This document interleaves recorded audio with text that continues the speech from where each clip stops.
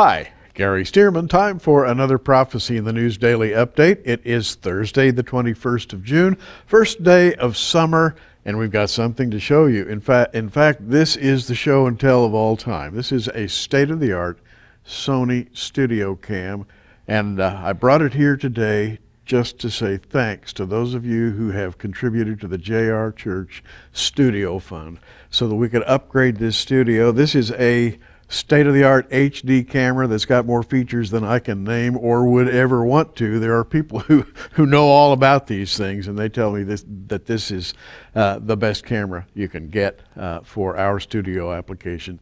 Have Bob Ulrich in studio with me today, and Bob and I are going to uh, talk to you a little bit about the JR Church Studio Fund. It's been a long trip, Bob. Well, it's been a long trip, but we've arrived, Gary. Uh, you're holding one of uh, four cameras, actually. Uh, two of them have arrived here in studio. One is sitting behind me uh, over my shoulder, mm-hmm. and there are two more on the way next week. Uh, the great part of all this, they're all paid for, you know, which is literally a miracle. And, and I just want to look right into the camera and just say loudly and clearly how much we appreciate the support uh, the generosity beyond human comprehension that we've seen. You know, it hasn't just been from the bigger givers. We've had some large gifts, uh, but we've had a lot of people who donated $10, $20.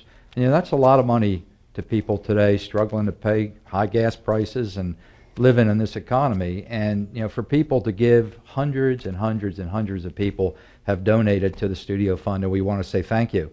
Now, I do want to say one thing.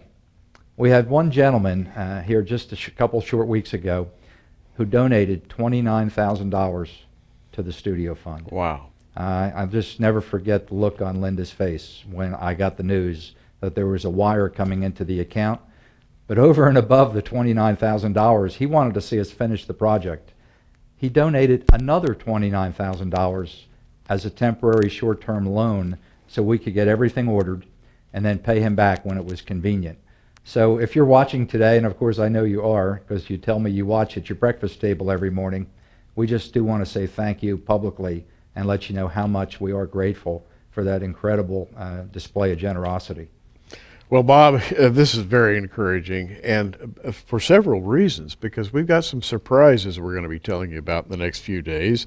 Uh, not going to break them all today, but prophecy in the news is uh, uh, increasing by leaps and bounds thanks to the, the enthusiasm of our audience, the, their reception to our magazine, our daily updates, our programs. And by the way, here's the latest. This happens to be the July uh, 2012 issue of uh, Prophecy in the News magazine. On the cover, it has a picture of five men, Bob, and these five men, even as we speak, are playing pivotal roles in world history right now. Hassan Nasrallah, uh, Tayyip Erdogan of Turkey, uh, Bashar Assad, Mahmoud Ahmadinejad, and Vladimir Putin, the Russian, who rides the white horse, by the way. he loves to be photographed on a white horse. I don't know if there's any b- biblical significance to that or not. I can't imagine. but, but we uh, have included uh, these five faces in our July 2012 uh, edition of Prophecy in the News with the title Are These Five Leaders and Their Policies Destined to Cause the Total Destruction of Damascus? You know, we read in Scripture that Damascus is going to be destroyed. And I'm watching uh, internet news even as we speak. Uh, and the internet news has to do with the absolute upheaval, Bob, of of Syria. We have top story today. Syria has grounded its fighter bomber fleet because one of its pilots defected to Jordan, and the rest were threatening to do so. So Bashar Assad has had to shut down his air force. Uh, another headline Obama helps Russia back on its feet in the Arab arena. First sentence of this story uh, Russian President Vladimir Putin is in overdrive to recover Moscow's overriding influence in the Arab world, which it lost to the United States in 1973. So this story goes all the way back to 1973, brings us up to the present. And you remember in 1973, the Russians had a terrible setback in the Middle East. They're making up for lost time now, and they are back as a full military presence. And Bob, I don't have to tell you that the Russians are in Bible prophecy. Yeah, they're they're found in a couple of interesting chapters that we've been talking about recently. I find it just incredibly fascinating the emails that we're getting here at the ministry, you know, through the website and the comments we're getting from people, and they all seem to have the same theme. We're going home soon. I mean, we are watching history in the making. Uh, when Bill Salus was here last week, uh, he said to me, he says, Bob, you know, in 1948, when Israel became a nation, imagine imagine how people, the people who were in the know when this happened, where all of a sudden it's really happened. It's really happened. Mm-hmm. Israel is back in their land. And here we sit, and we've been talking about Psalm 83, Isaiah 17, Ezekiel 38, all of these prophetic chapters that we know are going to happen. And we're watching the chess pieces move around the board now, closer and closer and closer.